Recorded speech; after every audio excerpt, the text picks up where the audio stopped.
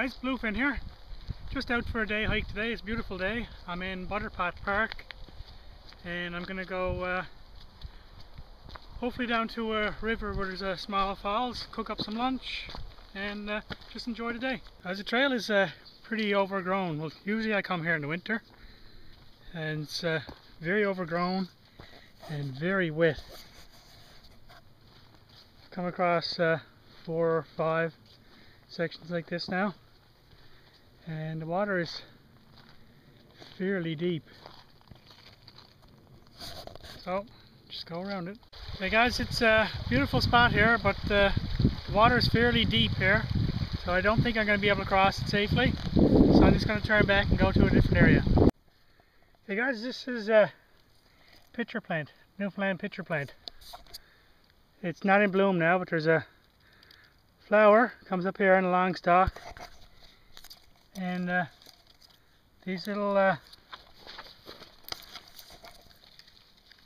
plants have water in them they trap flies and uh, they eat them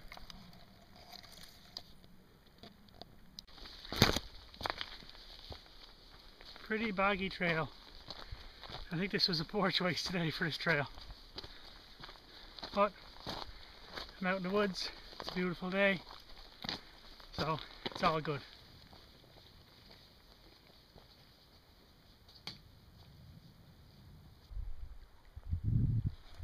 Just gonna cook up some lunch here now.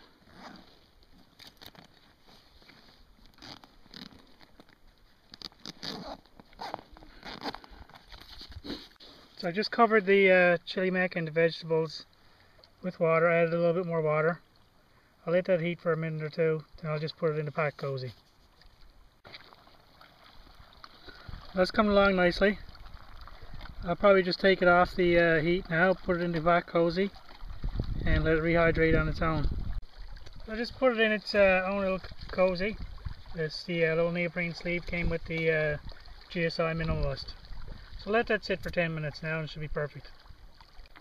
Well, it's been about 10 12 minutes now, so I'm going to have my lunch. Hopefully, it turned out good. Pretty hungry now. It's a beautiful day, so I'll probably go for a little swim after.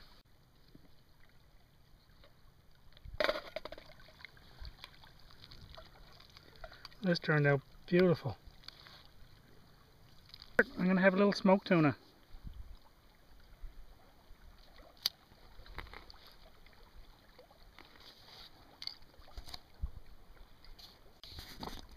I'll burn for probably about 10 minutes.